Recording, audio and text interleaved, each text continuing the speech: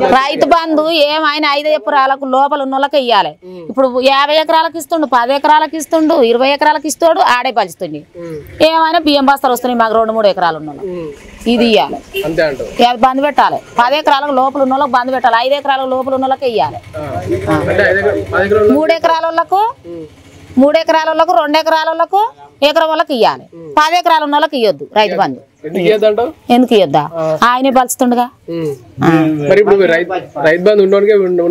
అవును. మాకేం బియ్యం బస్తాలకు సరిపోతాయి ఆ.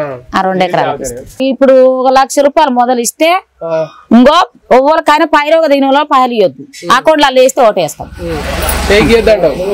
ఇవ్వద్దు షేకి షేకి ఇస్తే ఒక్క రూపాయి ఇస్తలేరు. మాకు అన్ని వాళ్ళు తింటారు. మాకు ఐదు ఐదు వందలు ఇస్తే మేము ఓటేస్తాం ఆయనకు. వెయ్యనే వెయ్యం. అంతే. మాకు పైసలు ఇస్తేనే వేస్తాం. అకౌంట్లో వాళ్ళు వేయాలి పేరు అడిగి. పైసలు తీసుకొని. పైసలు తీసుకొని ఓటేయండి వీళ్ళు అందరు ఎడ తింటారు? అక్కడిక్కడ తిరిగిన వాళ్ళ?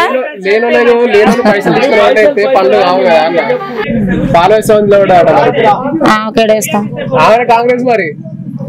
ఈయనకి వేస్తాం రాజగోపాల్. ఆయన మారిండుగా ఆయన మారితే ఆయన ఇంట్లో మారితే ఆయననే వేస్తాం.